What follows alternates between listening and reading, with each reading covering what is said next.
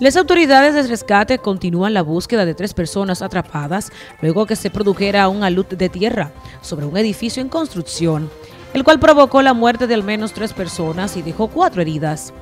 Mientras trabajaban en la construcción de un hotel de 11 pisos en el área monumental, los obreros fueron sorprendidos por un deslizamiento de tierra que sin medir le arrebató la vida a varios de ellos.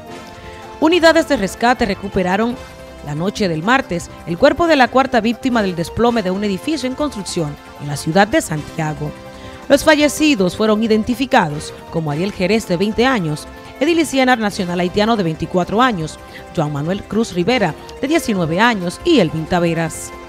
Miembros de la Unidad Humanitaria de Rescate del Ejército de la República Dominicana se trasladaron a la zona del deslizamiento de tierra en Santiago. Las tropas de la institución dan apoyo a las autoridades con miembros expertos en búsqueda y rescate, así como la unidad canina, con el objetivo de recuperar a las personas atrapadas, producto del derrumbe ocurrido por las excavaciones que se realizan para la construcción en el área monumental. Para NTN, su noticiero regional, Joanny Paulino.